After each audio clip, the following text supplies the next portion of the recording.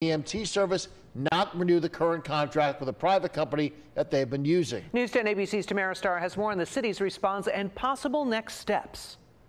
At tonight's City Council meeting, the Cohoes EMS Task Force explored three different emergency models before recommending that the local fire department take on all EMT services. And municipalities, I think, are no different. And so we're finding a, a, larger call volume. And what do we do with that? And how do we handle it? The proposed model will take three years to implement. We have a contract with the ambulance for both ALS and BLS ambulance through April.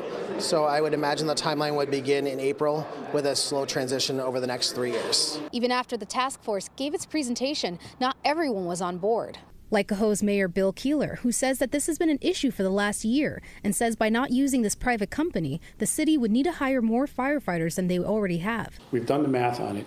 It costs twice as much for the city of Cohoes to run a fire department ambulance as it does, you know, for the ambulance that's in there now. According to the proposal, if they keep the private contractor ambulance, they keep paying the company $1.1 million per year, versus if the fire department handles EMTs, the proposal says the city would be losing around $47,000 per year. Lifelong Cohoes resident Sean Van Sleet, who works at a local school, says the fire department literally saved his life. And they didn't give up on me, thank God.